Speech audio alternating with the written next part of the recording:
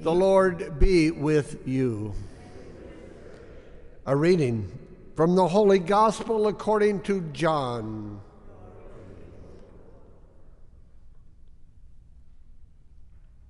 Jesus said to Nicodemus, No one has gone up to heaven except the one who has come down from heaven, the Son of Man.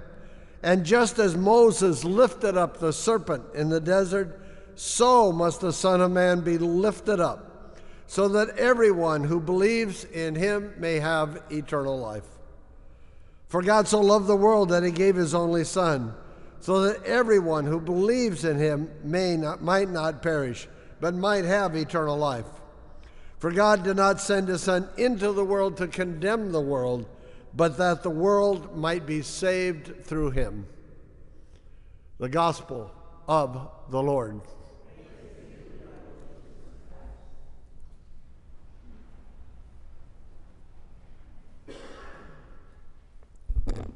Good morning. We have today in the first reading once again the Israelites complaining against God because they say, We are hungry, we are miserable, we were better off if we stayed at home, we would not have to endure all of this. So they complain constantly. They complain they had no food. He sent them manna. They had no drink. He sent them, had Moses strike the rock. He'd brought them through the Red Sea. Despite all of this, they still complain. So we see a different God this morning. He's, he sent them serpents that bit them. And the serpents roamed around as they do among them. And the serpents bit them. And then they came to Moses, the people, and said, Now look what he's doing. Now look, why, why is this? Why is this?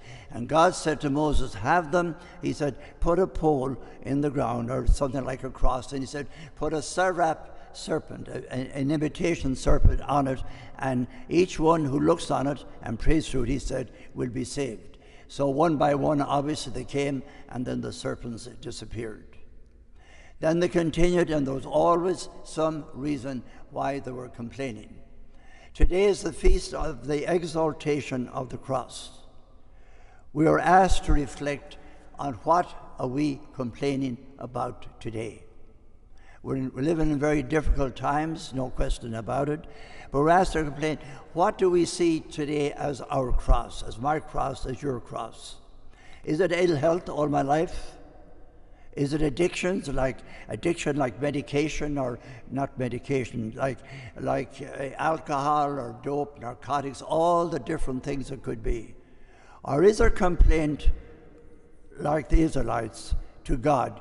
Why have you left me this way? Why are you treating me this way? Am I good enough that I should be taken care of better by you? And then we have the story, not the story, the, the, the narrative in the gospel about Jesus on the cross. And God could say to us, This is what I did. I sent you my only son to redeem and save you. And yet you're complaining. What more can I do? There's a story told about the man complaining about his cross, where he was brought into a warehouse with dozens and dozens of crosses, and he was asked to pick out the cross that he figured he was entitled to have, or no bigger, no smaller. And the, the, the story is that he picked out the exact size of a cross that he was carrying with him at that time. So let us today, as we were asked to exalt, to, the, to pray the exaltation of the cross, to, to honor the cross and remember that it is through the cross that we someday will be with God in heaven.